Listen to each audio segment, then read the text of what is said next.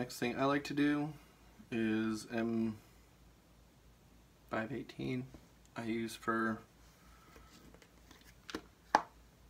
Metal Crush by Kat Von D. Really good sparkly highlighters. I'm going to use the white one first.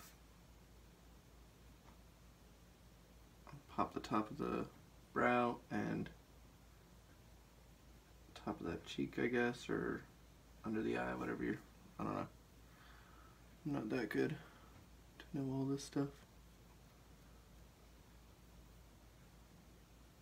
The only thing I will say about this stuff is that while I like it a lot, it can, if you cake too much on, it can, um, I don't know, it gets a weird texture to it, almost gritty.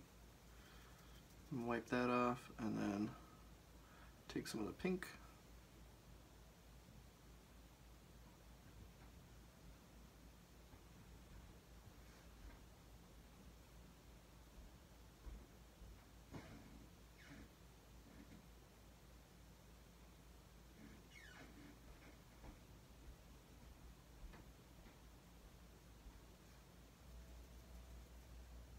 And going back with a little bit of the white, or whatever it's called.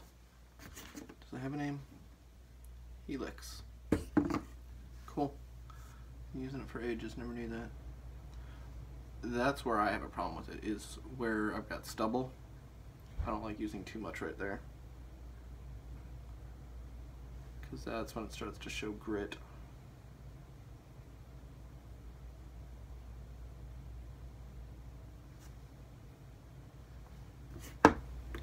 Basically I hit a dark color from here down, then that light color right there, and then another dark line just below the lip, another highlight right here between the nose and the cupid's bow, another streak of the light color and the highlight up the crest of the nose, catching the center of the forehead, sort of the T-zone area, catching the eyes with the white, and then some highlighter near here.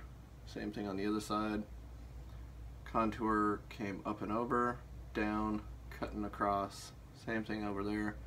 Contour shading the sides of the nose so that it contrasts with that white.